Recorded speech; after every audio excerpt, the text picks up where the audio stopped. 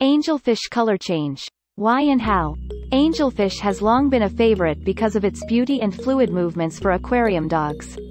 And they can be quite the house pet you may be hoping for with the new variations constantly being attainable.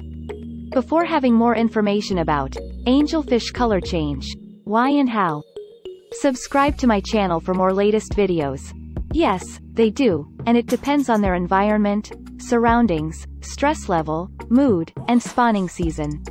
It is normal to see them change colors throughout the day, so don't worry. You will watch in this video about how the color of an angelfish varies and what causes it.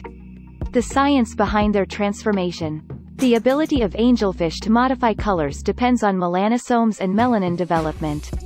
Melanosomes are responsible for melanin synthesis, and a material that absorbs light is melanin.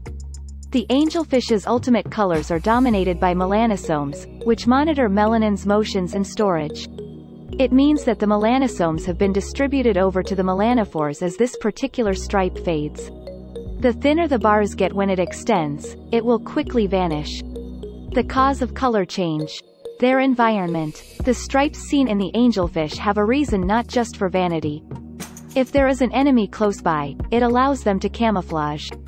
With that said, if there are concerns, their skin colors can shift. They lie flat on the bottom occasionally, play dead, and change their color to pale. Stress is not as good for them as it is for other fish. You could remember that they didn't look the same when you purchased them, mainly when you bought your angelfish from a pet shop. It can be jarring and upsetting for them to switch from one living environment to another, thus the color change. Superiority to others. You may find that certain smaller ones change color from time to time as they meet the larger ones if you have multiple angelfish in your aquarium. The smaller ones owe their larger counterparts reverence and a fair measure of deference. Their nutrition. Food is essential, particularly for aquatic fish, as they cannot search for any prey on their own. A bad diet can influence the overall color of your angelic fish. Researchers recommend flakes and pellets because they provide the nutrients they need to survive. Angelfish color change. Why and how? Conclusion. To conclude, angelfish experiencing changes of color is not a unique occurrence, and it is normal, and it gives you an understanding of what's going on with them sometimes.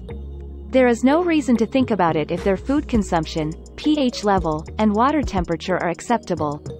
Take advantage of these variations in coloration, and it will show you whether your fish is healthy or not. For more information about angelfish color change, why and how, visit our website at yourfishguide.com. Don't forget to leave a comment and subscribe to my channel.